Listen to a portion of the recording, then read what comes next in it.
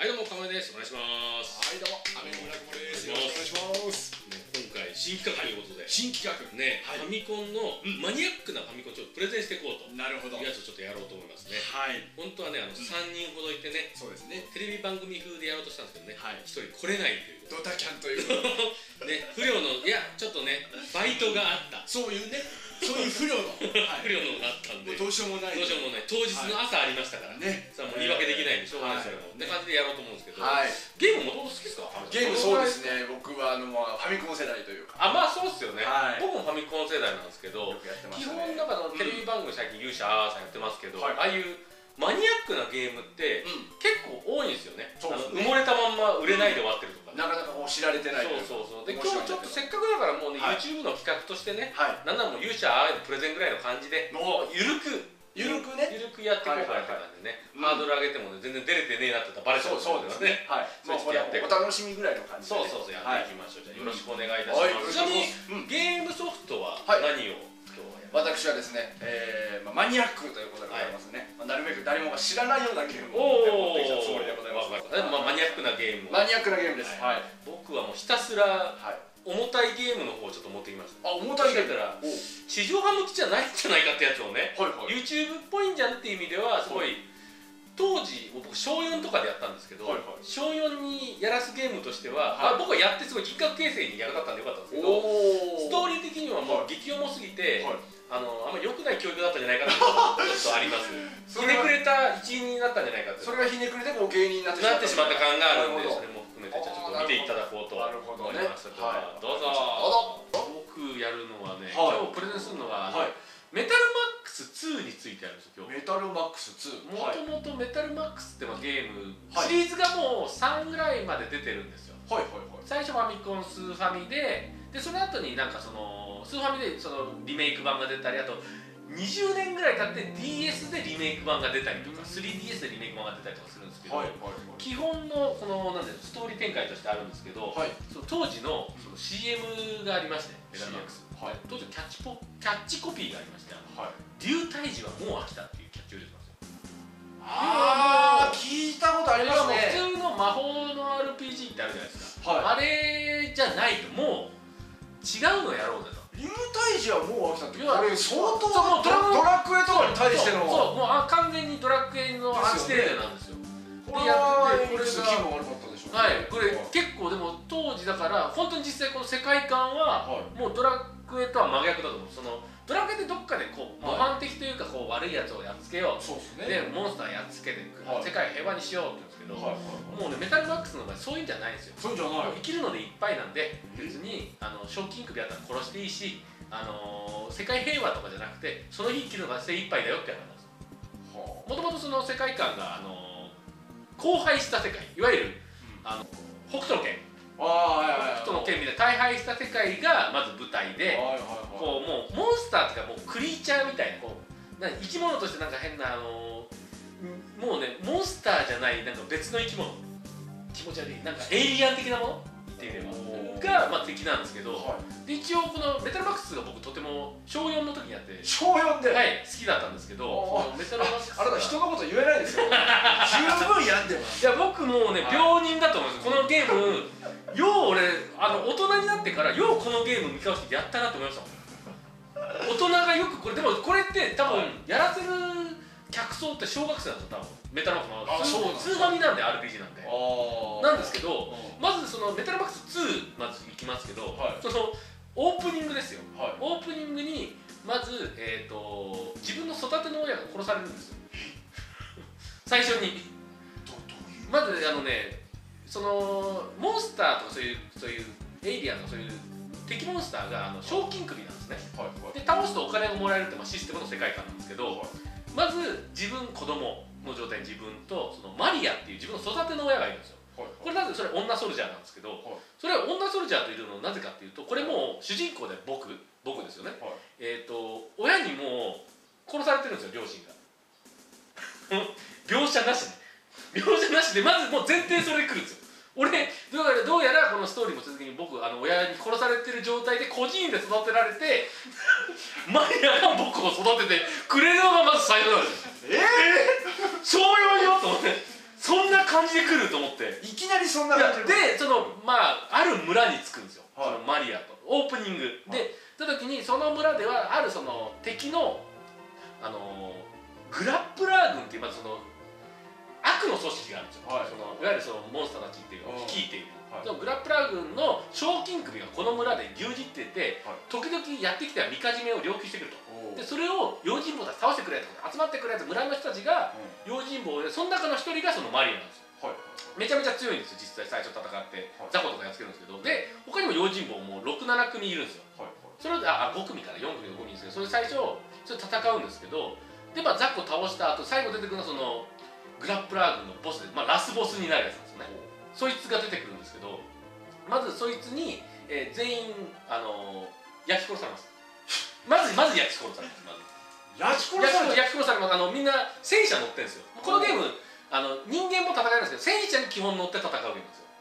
はあ。で戦車まずブワーッとそのラスボスなんでもう1000ヒットで平気で与えるんででやられるじゃないですか。で子供の僕も出てくるんですよ。おこれおおあのマリアやられるっていうのはそのやられる、ーうんうんうん。僕もあの焼き殺されるんですよ。え？ー オープニングよ。死ん死んじゃうんですか？まずまずそれで焼き殺されるじゃないですか。うん。でまず焼き殺まずされるんです。オープニングまず焼き殺される。我々我々我々がね。焼き殺されるとこはエンドだからエンディングだよそう。でさらにそのグラップラー軍っていうのは人間狩りってことを行ってるんですよ。人間狩り。人間を飼ってなぜかそれをうん死体を何個持って帰ってるんですよ。ファミコンの世界。小小学生にやらず。人間狩りやってまあこれはハードボイルドなヤングアニマルとかでやってる。漫画の話じゃないですよ。俺も人のこと言うんだけど教育上悪いよそのゲームは。もう YouTube 向けだと思うけど。絶対ああじゃできないから。でもう焼き払うじゃないです。か、まあ、それで、まあ、人間狩りでちょっとその戦士たち一緒にいた戦士たち何名かも連れてかれてお母さん結局マリアは連れてかなかったんですけど何名か連れてかれてこれまた伏線になるんですけど、はいで俺とそのマリアが死んじゃった後にこの村の人たちがあやられちゃったか用心棒たちってなって村の一人にドクターミチ博士がいるんですよ。はい。博士がそのあこいつまだ瀕死だけど生きてんじゃないかと、まあ、丸焼きになってるぞっていうのでその博士は毎回人体実験を行ってるんですよ。でその電気ショックを何回もく食らわしたら主人公が生き返る。ああお前はその生き返ったなよかったなってからお前の復讐が始まるんですよ恐ろしいです。小学生にやらすんですよこれ。すげえオープニング。まず親死んでるが前提で、ね育ての親焼き殺されて、ね。人間狩りされて他のやつも、そうね。復讐がスタートだって言われるんですよ。こんなゲーム俺ドラクエのアンチテーゼでしょ。あんなに魔法を使って悪いやつらをやっつけるんだって中復讐が僕のテーマでまず生き返った自分のまあそのアンチテーゼもそうですけどこの感じを育てるのはやっぱ危険な気がする でしょ。これをやったことによって 僕正直僕というモンスター歴代の犯罪者何人かいるんじゃないかっていう気が今ちょっと聞いてて思いましたね。これ本当名作と言われてメタモマックスいまだにだから大はい体20年後本当リメイクしてくれって言ってリメイクされたぐらいなんで。という感じでこのハードコアから商用でそうそうそうそうだからまずうその、はいストーリーがまずクソ重いってこの特徴としてまずある。ストーリーが。クソ重い。こういうふうに。もうこんなまあ後でいっぱいそのキャラの説明するんですけどこのように出だし5分でこれです。いやまあそうよね。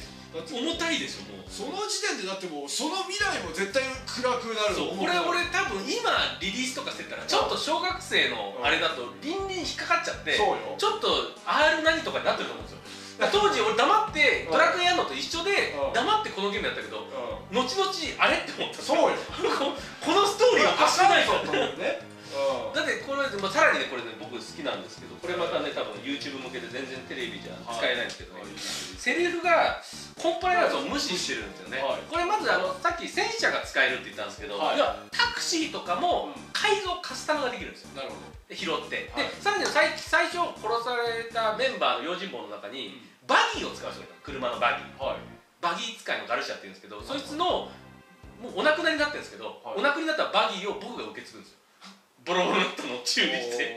人の遺品をまずオープニングから僕遺品乗り回してるんですよ。最初に。人の遺品を でまあこれあのいわゆるライライフルつけるぞとかそういうのをカカスタムしてライフルつけたやつ。その時点でその主人公のかもめさん何歳の設定なんですか？多分ねえっと10歳 コンプライアンスの前に法律無視してんじゃんそう。えいやでもだってもう後輩た世界なんでもう免許もなんもないんで。いらないと。いらないと。はそうそうそう。あ詳しく何あの何歳かあって調べますメタルモス多分説明書載ってるから。でそれすごいのそのやバギーとかも穴つけないと、このロケットランチャーとかつけれるんですよカスタムで。お金とか払えば。モンスターと要はでもバギーにやっぱいろいろつけられるじゃないですかガトリングガンとか。つけられる。それもメカニックがいて街に。でつけてくれるんですけどで穴つけてるとそのうち重量が重たくなったりしてちょっとこれ穴違うとこ開けないとはい。この穴閉じてじゃないとちょっとつけれませんみたいなのあるわけですよ。マンシンでそのマシンのその重量の制限があるんで。はいって時に穴じゃあちょっとこれ埋めてくださいっていう作業をその一回ガトリングガンとか開けたけどロケットランチャーつけたいんでって時に言われるセリフがありましてその穴を埋めるんですね。そのいわゆるその戦車についた穴を埋埋めるっていうのをまあ1000ゴールドぐらいかけてやるんですけどその時言われるのが、はい。えーこのお店の人に言われるんですけど穴をバージンのように元に戻すのかって小4の俺が言われるんですよ。理解しましたね。小4のバージンのように。なんかスパナみたいななんか機械で戻そうっていう意味でバージンっていうなんか機械があってはい。戻すのかなって、小4の頃じゃバージンは機械だと思ったんですね。はい。このセリフもね後で俺びっくりしましたよ。こんなん書いてたかと思って。あります ?RBD ちゃんとねこれねちゃんと DS 版移植されてこのままのセリフちゃんと導入されてます。はい。偉いことに。すごいな。このなかなかね性に興味持つのが早いことはいこれはねもうやっぱだからドラクエ何クソでやってるんですよやつらを。そうですね向こうはパフパフっていうね そうそう。まあちょっと濁したワードですけど。もうそんなわけない。こっバージンだと。そう。であと他あるのがですねえっとあそうそうそうそうそうすごいあとねこれ、はい。マルチエンディングっていうまあシステム。が、まあ、他のゲームでもあるんですけど、はい。これ導入されて素晴らしいのが、うんあの始まってさっき5分殺されたとかあったじゃないですか、はいはい。あので例えばあのこのゲームメタルマックスシリーズがあるよくあるんですけど、はい。まあ、1も似たような感じで、う親いるんですけど金持ち俺なりたいからちょっとあの外の世界行くよってそのメカニックのやつがうん。飛び出していって外の世界戦車乗って出ていく話なんですけど1とかの場合だと例えば家帰ってくるじゃないですか。でもそのいろいろ冒険してちょっと帰5分ぐらいで帰ってきてはい。どうするって言った時なんか親父と話しかけた時にカーソルで引退するってあるんですよ。引退？引退する。じゃあ今冒険行ってくるよって言ってきたんだけどおう。5分ぐらい経ってきて。はい大変だったかっつってで中にどうだっつって大変かっつった時に引退するってあって選ぶじゃないですか。はエンディング見れるんですよ。要は引退したからもう。バッドエンディングじゃないけど。そうそうもうもうもうだっていやこれはだって賞金首取りに行くも自由。うん。仇討ちも自由っていうゲームなんで、まあそうね。そう他にもシリーズ何か忘れたけどあの、幼馴染のことをもうそんなな戦いなんか行かないで一緒に暮らそうよって言って結婚するで選んでエンディングもあります。よなるほどねいろんなところにこそうそうそうそうそう。枝分かれのエンディングがあるわけだ。そうそうそうそう。まあ正規のエンディングではないけど。ないけど。うん。それもんすごいなって思う、まあそうドラクエで聞いたことないでしょ、うん。ちょっと俺もう魔法討伐いいからちょっとここ村に行っていいかっつって。そうね。途中で終わるとかもね。そうそうないから。うん。そのイカれっぷり。バスとかもまあバスをさっきのタクシーみたいにあの、戦車的に乗れるんですけど、うん。あのノバスがいるんですよ野生のバス。野生のバスがこの世界ではもう野生のバスがいるんですよ。うんちょっとゆっくり説明してもらわないと。とあのある村にある野良猫野良犬とか。あそうそうそうそうそう。そうそうはい。野良バスですね。野バス野バス。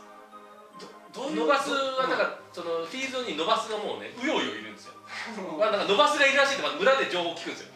野バスがいるらしいどどうどういうことなんですか？野バス。がうようよしてるって言われてまず 村でななんかの伸ばすっていうのはその個人でやってるっていう。じゃあ乗ってないんですよ。のあ？もうバスが意志を持って暴れているんです。荒廃した世界では。うん飲み込んでください。かみさん何言ってるんだろうバスが俺一緒そう俺も何言ってると思って村でなんか野バスが暴れてんだよ。お前何言ってんだよって言ったら本当に運転手がなくバスが意思を持って暴れてる動いてる。ぶつかってくると本当戦闘になりますからノバスと戦ったりぶつかってきたりするから俺もこっちのバギーでやり合って。そう。でこれちゃんとねノバスもねうあのね捕獲方法があってね。ん捕獲方法。バス停がそのダンジョン内にあるんですけど、はい。バス停で待ってるとノバスがゆったりそこに来るんですよ。そこを乗り継いだら僕のバスになります。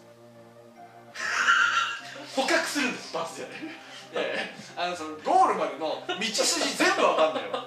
どうどういうことうこれはねメタルマックスをやってください。僕はねまずね伸ばすの時点で置いてかれてるんだよ僕。だ伸ばす、まあ俺も追いかけてますけどねいわば伸ばすは意思を持って暴れてる暴れてるんですもうどうしようもないやつなんですよ。だけどバス停に行くと彼らはもっとあ野生からもっとファーって戻るんですよあ俺のいた場所だっつって。バス停を見ると落ち着いちゃうというか。一匹もうまともなノバスがいたんですよ。がバス停たちがちょっと我には俺バスじゃないかってこそことでだけは我に借りれるんだ。っていう捕獲方法があると教えてもらえるんで村で。あなるほどね。出た本当その後僕あのちゃんとうん。バスにランチャーつけてちゃんと共に旅しました。もしかしたらクラスで暴れてるヤンキーたらバス停に来たら落ち着きよう似たような何かがあるそういうことだのバスでであれはだからそういうのも含めてなんでしょう？行かれだからだから今の人格形成に役立ってるじゃない？か わけわかんないそうわけわかんないこと言ってる。うノバスだもん小4が納得してんだからノバスに。うん。何その設定。そのうち伸ばすネタとかやりそうや どんなんだよ。何でもバス停乗っけて評価されましたすごい時間かけすぎじゃねこれやべえな。いやいやいやいや。ちょっとじゃあ。うわあここがさらにまあじゃあ重ためのやついきますかね、はい。あのこちらでしょう、はい。B ハブ船長 VS ユーシャークっていう戦いがあるんですまずはい B ハブ船長っていうのが、はい。あのまあ、船長海の船をこれ手に入れるゲームなんですよ。はいはいこれなんですけどこの船長っていうのがもうねこの U シャークといわゆるもうミサイルとかを積み込んだサメがいるんですねシャーク U シャーク。とい何十も何十50年戦争をしてるんですよな。船長が。でもう嫁も食われて弟も食われで B ハブ船長一人で生きてるんですよ。で家にお母様もいるのおばあちゃんになった。でちょっと行かれてんすよもう。まあ。殺せユーシャークを殺せってセリフが小4ですよ。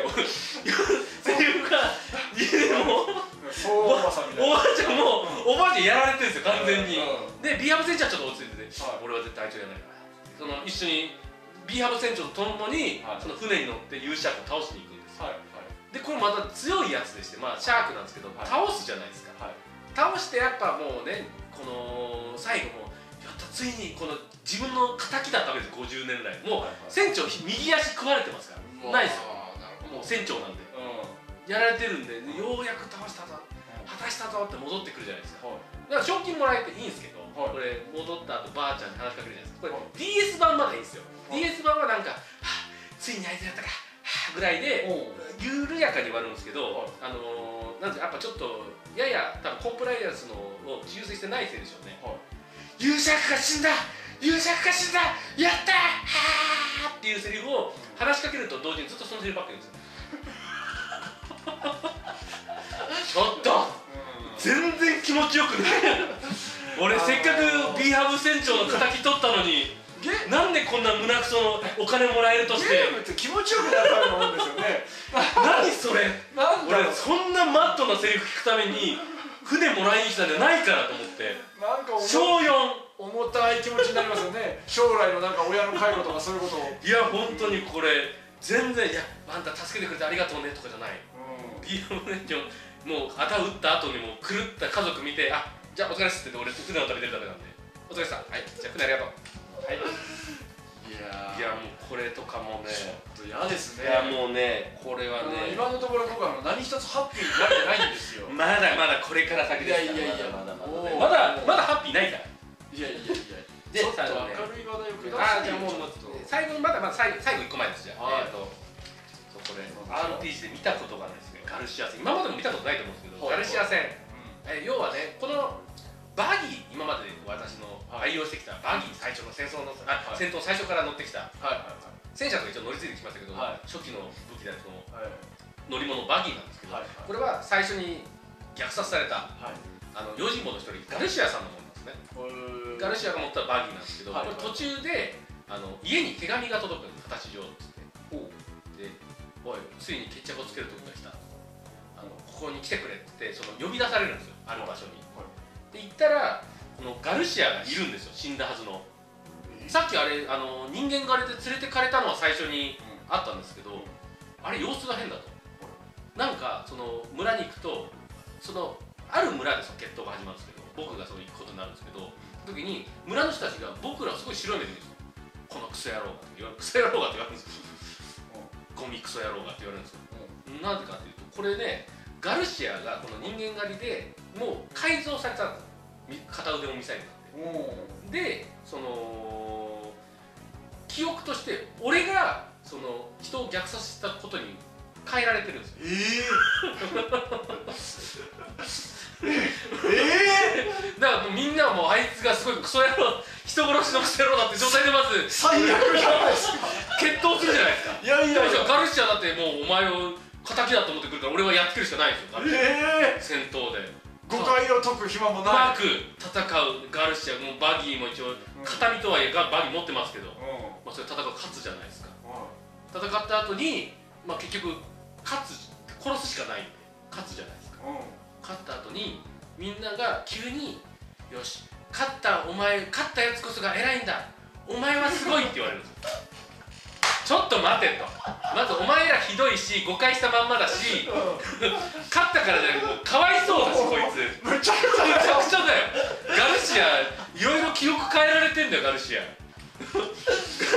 ガルシア俺殺す羽目になってるし。人格がひどいでしょ。だからこのねいわゆる憎しみは憎しみしかまあこういう戦争の悲しさみたいな。うん。さっきのだから B ハブ船長もそうですけど、うん。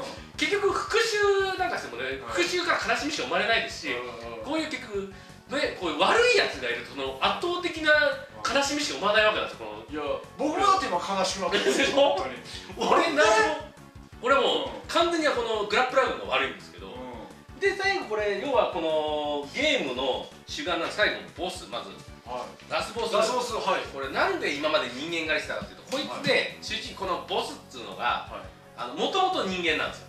はいはい。そう。これなんですけどこいつと最後戦うんですけどもうええ。体完全にこうコンピューターみたいになっててはい。いやもともとは起業家として成功した人間です。はいなんだけどでかん科学者は環境に関する。はいたらもう不治の病で死にそうになってしまうた時に死にたくないと。思った時に彼はもう悪い心に身を染めてそれは人間を人体実験することによって、はい。そのとりあえずこの今の人間の記憶はコンピューターに収めると、科学技術で。でその間に人間のその永遠の命を生成することに時間を費やそうって思ってこの大敗した世界ができたんです。人間狩りのスタートですね。でこいつが悪の根源で倒すじゃないですか。はいはい倒した時にもう RPG 今までなんかねこうゾーマとか倒しても、はい。世界に平和が訪れたって言われてはだってもうこいつは言うんですよ最後倒したやったってもうこいつが悪の元凶だから。平和になるはずなんですけどそう死にたくない。死にたくないって言って死ぬんです もうそんなん言ってくれんなよと。なんだよその終わり。お前が殺してきたし俺悪くねえし。ね。お前のせいでガルシアとかすごい迷惑かけたし。なんだお前っていうこの俺のだから要要はもうね世の中のこのねブラックな部分っていうのは隠さないでこういうのできちゃうから直視一回してみるべきだと。うん。ブラックなものというのは。っていうのを俺メタルマックスが教えてくれたんですよ。まあでも本音でしょうね。本音死にたくないっていう絶対ねゾーマもねバルモスも死にたくなかったと思うけどそこんな死にたくないってラストのセリフ言うボス見たことないですよ。ういやそんかみっともなさこそが実そうそうは本質そうそうみたいなそうそうところがある俺こんなに本当に本音ばっか書いてるうん。ゲーム見たことないんですよ。まあ確かに。こんなディープなメッセージのって多分小学生でやらすゲームってないと思うんですあよのまあ王道のねなんかそのみぜんなが悪と思うものを倒しに行くとかね。絶対ちょっとあの悪いことをされて例えば騙されてましたってのを「よいえい!」ってやって「あ僕は騙されてたんだ」って元に戻るとかあるう俺が殺してその後嫌な気持ちになるだけってないでしょ。んまあね。ゲゲーム界において当時多分当時多分これリリースされたのこれこそ1990年か89年とかだと思うんですけどはこのディープなメッセージ。いいやー。これ俺はねやって終わってやってよかったなと思ったんですよね。結局。最初なんか子供だから何も分からずやるじゃないですか。ええ。死にたくないってあでも死にたくねえんだろうなと思ってやってましたしすごい嫌な気持ちになったけどでも人間の汚い部分ってこういうとこであるのかもしれないよなっていう、まあ大人になればゆくゆくはねそうそうそうなんだけど。学んでいくことを。そう。当時何も思ってなくてやったけど今思えば結構深めのメッセージだったんじゃんっていう。なるほどね。そう。っていう意味で僕すごいこのゲームはねテレビじゃ絶対プレゼンできないですけどまあまあこれはね。ぜひぜひちょっと楽しんでいただけたらなネタバレまでいっちゃいましたいやまあでも確かにね。ねうん。嫌でしょ。や でもやったら絶対楽しいですよだから今ディープなファンついててあの例えば Amazon で今この2のはい。リメイクが 3DS から出てるんですけど、今ソフトいくらなんです？よ1万超えてるんですよ。えもうだから当時3000か4000で売ってたんですけどもう結構販売が全部終わっちゃったんですよ。はいはい。で、まあ、DS ゲームでも 3DS 移行してるんであんまソフトがなくて。はいあの軒並みメタルマックス3とかあるんですけど全部1万超えです。アマゾンで買おうとしたらのくらい面白いんですよ。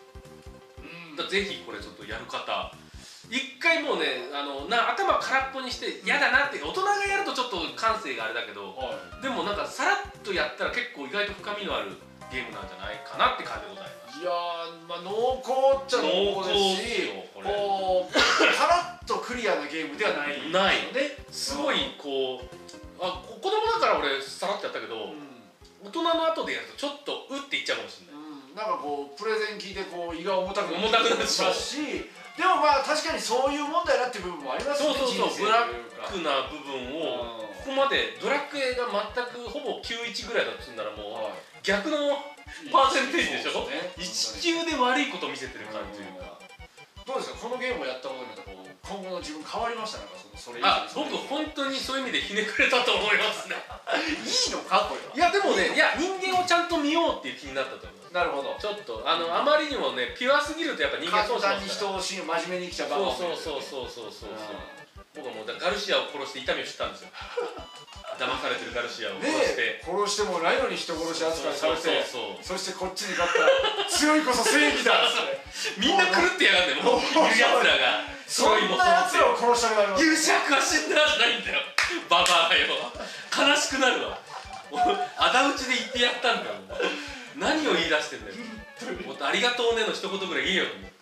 嫌になります嫌になりますよ。親族が帰ってこないですしねやられた。あのゲームは今かい思い返してもひどいゲームでしたね。世の中にはそういう輩もいるというのがねはいはいはい。こもうただ面白いんで1万の値が張るぐらいのゲームではあるんではい。アマゾンでマジ買いたい人はぜひ買ってください。めちゃめちゃ面白いなるほど。って感じになりました確かにね興味深いというか。はい。うん。以上でございました。はいはい。ではご視聴ありがとうございました。ご視聴ありがとうございました